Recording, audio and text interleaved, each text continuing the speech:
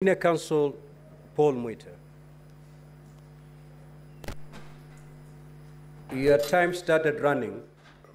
Mheshimiwa Speaker, may Let, I, let- let- let me just, uh, let me just conclude, uh, Senior. Your time started running at the time I requested you to usher in your witness. You indicated that you're getting hold of your witness.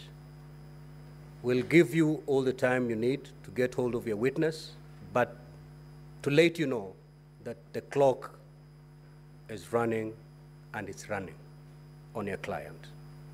You can take all the time, but his time is running out. After two hours, he's not appeared, the chair will make a ruling pursuant to the rules of procedure.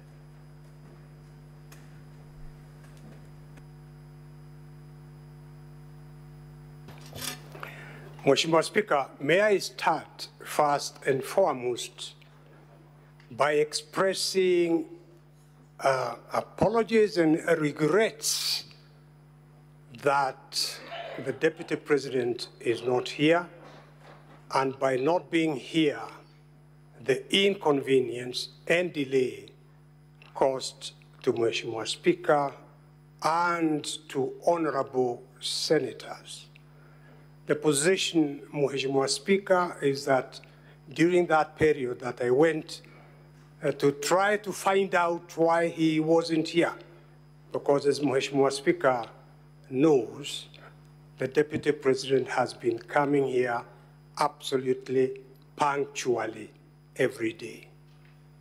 The sad reality is that the Deputy President, the Republic of Kenya, has been taken sick, very sick, and as I address Mr. Speaker in this honorable House, senators, he is in hospital, Mr. Speaker. That is a sad reality.